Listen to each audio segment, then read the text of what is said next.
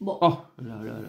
ça n'a pas l'air d'aller. Ah bah, Bah, tu m'as l'air dépressif. ah, bah tout. dépressif. euh, bah, bah, y a pas déjà en plus en te voyant, ça va pas ranger les choses. quoi.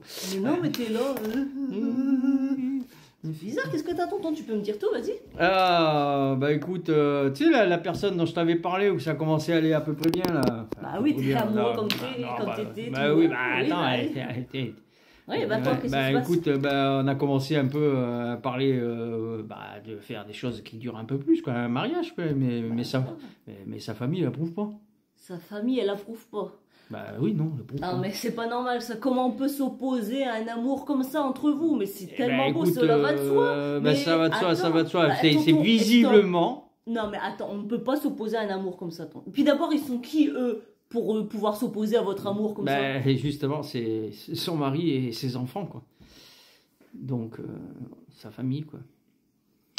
Alors là, Ah bah oui, Ah, bah, le c'est- bec. c'est- ah bah, le clou, oui, bah, c'est pas. je c'est pas le clou du spectacle. Allez. Bah, merci pour ton soutien. hein. Si j'avais besoin de Oui, m'enfoncer oui. encore plus, je, je reviens là. hein.